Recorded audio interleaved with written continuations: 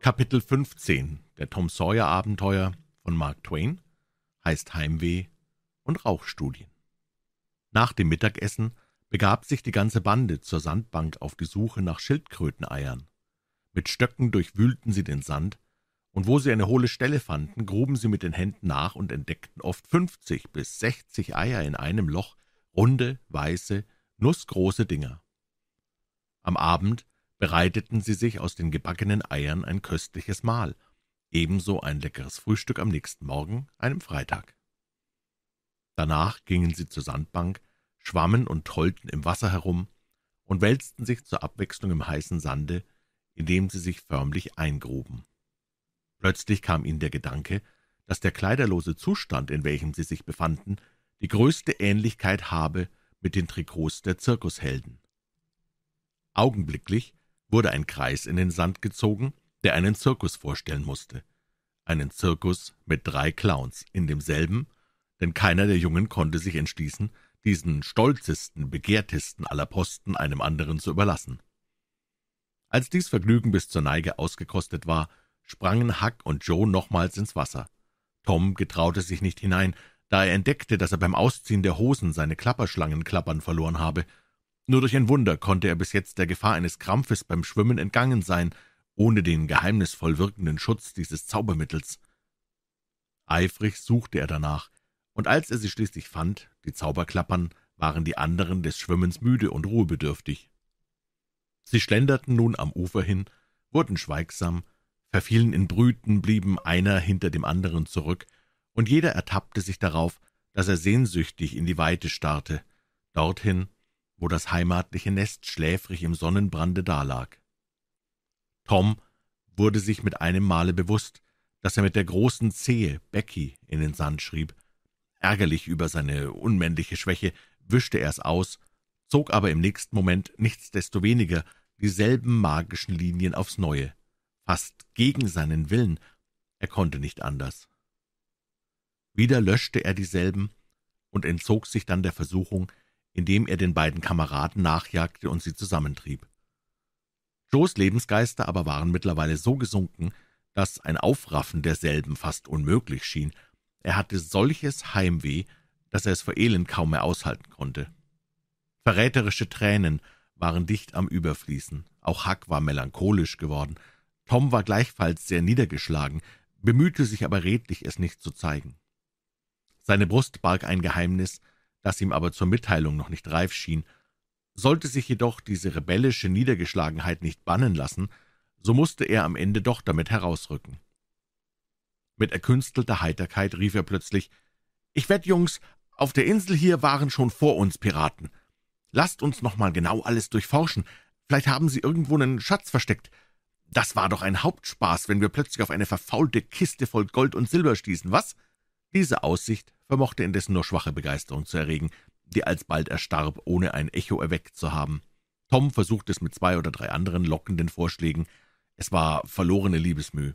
Joe saß und bohrte mit einem Stock im Sand herum und sah sehr brummig aus. Schließlich rief er ungestüm, »Jungens, wir wollen's sein lassen, ich will heim, hier ist so einsam.« »Ach, Joe, wart doch«, beruhigte Tom. »Bald denkst du ganz anders darüber, denk doch nur allein ans Fischen. Was liegt mir am Fischen? Ich will heim. Aber Joe, wo findest du wieder einen Platz zum Schwimmen, wie hier? Schwimmen ist mir ganz egal. Ich mach mir gar nichts mehr draus, seit keiner da ist, um's zu verbieten. Ich will heim. Papala Pappwickelkind will seine Mama sehen, was? Ja, das will ich auch. Ich will meine Mutter sehen, und wenn du eine hättest, wolltest du's auch. Ich bin kein größeres Wickelkind als du und Joe schluchzte ein bisschen vor sich hin. »Schön, schön. Lass das Kindchen zu seiner Mama gehen, gell, Hack? Armes, kleines Wickelkind will die Mama sehen. Soll's haben, armes kleines Ding. Dir gefällt's hier, Hack, gell? Wir zwei bleiben, nicht?« Hack ließ ein sehr zweifelhaftes, gedehntes »Ja« hören. »Solange ich leb, red ich mit dir nie wieder.« Damit erhob sich Joe und begann sich anzukleiden. »Als ob mir daran was läge versetzte Tom geringschätzig. »Wir brauchen dich nicht. Geh heim und lass dich auslachen. Du bist ein schöner Pirat, du. Huck und ich, wir sind keine Schreikinder, wir bleiben hier, gell, Huck? Der mag laufen, wohin er will.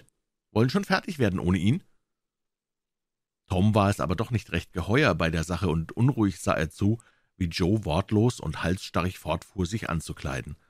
Es ängstigte ihn auch zu sehen, dass Huck aufmerksam den Vorbereitungen Joes folgte, während er ein gefahrdrohendes Schweigen beobachtete. Alsbald, ohne ein Wort des Abschieds, begann Joe nach dem Illinois-Ufer zuzuwarten. Tom sank das Herz bis in die äußerste Zehenspitze. Er warf einen forschenden Blick auf Huck. Dieser vermochte den Blick nicht auszuhalten und schlug die Augen nieder. Dann sagte er, »Ich will auch fort, Tom. War's vorher schon einsam und jetzt wird's noch schlimmer.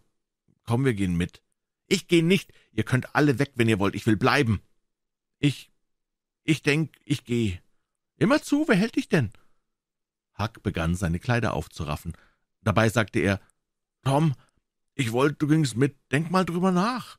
Drüben am Ufer wollen wir eine Zeit lang auf dich warten. Ja, könnt ihr warten, bis ihr schwarz werdet, das kann ich dir sagen.« Kummervoll wandte sich Huck ab, und Tom stand und sah ihm nach, während ihm das glühendste Verlangen, den beiden zu folgen, fast das Herz abdrückte. Sein Stolz wollte aber das nicht zulassen. Von Augenblick zu Augenblick hoffte Tom, die Jungen würden stehen bleiben, die aber warteten entschlossen vorwärts, ohne sich umzusehen. Plötzlich überfiel ihn das Bewusstsein, wie still und einsam es um ihn geworden, mit niederschmetternder Gewalt. Einen letzten Strauß bestand er mit seinem Stolze, dann stürzte er hinter den Kameraden her, denselben nachbrüllend, »Wartet, so wartet doch! Ich muss euch was sagen!« Die standen still und wandten sich. Als er sie erreichte, teilte er ihnen sein Geheimnis mit.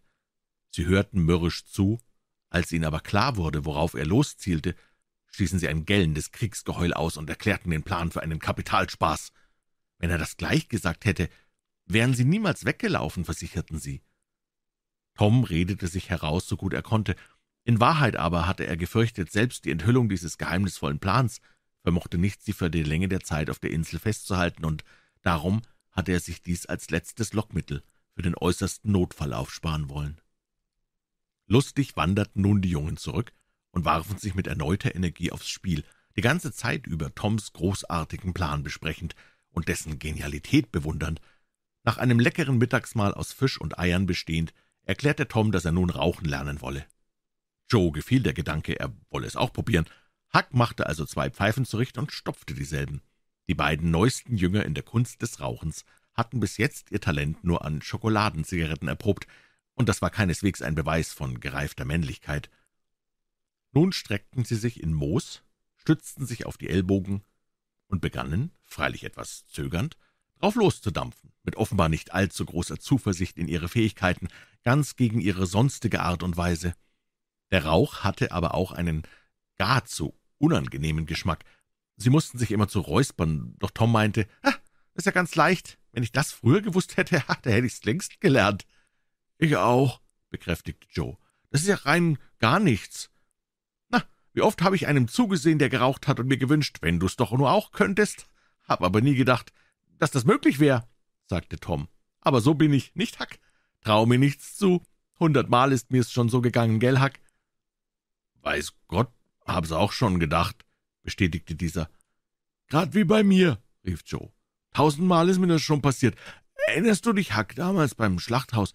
Die anderen waren alle dabei, der Bob und der Johnny und der Jeff und auch da. Ja, »So ist's«, fiel Huck ein, ohne weiteres abzuwarten. »Es war just an dem Tag, an dem ich meine schöne weiße Steinkugel verloren habe. Oder auch am Tag vorher.« »Siehst du wohl«, rief Joe. »Der Huck erinnert sich. Ich glaube, die Pfeife hier könnte ich den ganzen Tag rauchen. Ist mir kein bisschen übel.« »Oh, mir auch nicht«, fiel Tom ein. »Ich könnte auch den ganzen Tag weiter rauchen. Der Jeff Thatcher aber.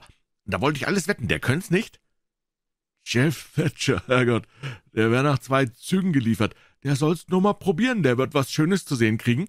Das glaube ich auch, und der Johnny Miller, na, den möchte ich mal dabei sehen. Na, und ich, lachte Joe. Ei, der könnte das nicht besser als alles andere, was er kann, und er kann nichts. Er braucht's nur zu riechen, dann wär schon drin. Weiß Gott, so ist's. Ich wollte nur eins, Joe. Ich wollte, die Jungens könnten uns sehen. Und ich erst. Sagt mal, Jungens, wir reden gar nicht drüber, und wenn wir dann mal alle zusammen sind, gehe ich auf dich zu, Joe, und frag, hast du eine Pfeife da, Joe? Ich möchte gern mal rauchen. Und du sagst dann so ganz nachlässig, als ob's gar nichts wär, ja, die alte hab ich und auch meine neue, aber mein Tabak ist nicht sehr gut. Ach, macht nichts, sag ich dann, wenn er nur stark genug ist. Dann du heraus mit dem Pfeifen und angesteckt, Herrgott, die werden Augen machen. Das wird wundervoll, Tom. Wär's nur schon so weit. Ja, und dann sagen wir, das haben wir alles gelernt, wie wir als Piraten ausgezogen sind, und dann platzen sie erst recht vor Neid. Und ob, das wird prächtig, Tom. So plauderten sie und bramabesierten, aber allmählich wurden sie stiller und warfen nur noch gelegentlich eine Bemerkung hin. So plauderten sie und bramabesierten, aber allmählich wurden sie stiller und warfen nur noch gelegentlich eine Bemerkung hin. Die Pausen wurden häufiger, im selben Maße wie ein sonderbares Ausspucken zunahm. Jede Pore innerhalb ihres Mundes schien zum rieselnden Brunnen geworden. Sie waren kaum imstande, die Höhlungen unter der Zunge schnell genug zu leeren, um eine Überschwemmung zu verhüten. Kleine Ergüsse den Hals hinunter kamen trotz aller Eile vor, denen jedes Mal ein leichter Würgeanfall folgte. Beide Helden sahen nun recht blass und elend aus. Joes kraftlosen Fingern entsank die Pfeife, Toms Pfeife folgte. Die Wasserwerke und Pumpen arbeiteten mit Macht. Endlich sagte Joe mit schwacher Stimme, »Hab da irgendwo mein Messer verloren, will lieber mal gehen und suchen.« Mit zitternden Lippen keuchte Tom. »Ich helf dir. Geh du dorthin, ich mach mich nach der Quelle. Nein, Huck, bleib, du brauchst nicht zu kommen, wir werden's schon finden.« Huck setzte sich also wieder und wartete ungefähr eine Stunde. Dann fand er's langweilig und ging die Kameraden suchen. Er fand sie auch weit voneinander entfernt, mitten im Walde, beide sehr blass, beide schlafend. Etwas aber in ihrer Umgebung bewies ihm, dass, falls sie Unannehmlichkeiten gehabt, sie sich derselben endgültig entledigt hatten. Beim Abendessen waren sie nicht allzu redselig, hatten eine etwas niedergeschlagene Miene, und als Hack zum Nachtisch seine Pfeife hervorzog und sich bereit zeigte, auch die ihren zu stopfen, da dankten sie, sagten sie, fühlten sich nicht ganz wohl, beim Mittagessen müsse ihnen etwas nicht gut bekommen sein.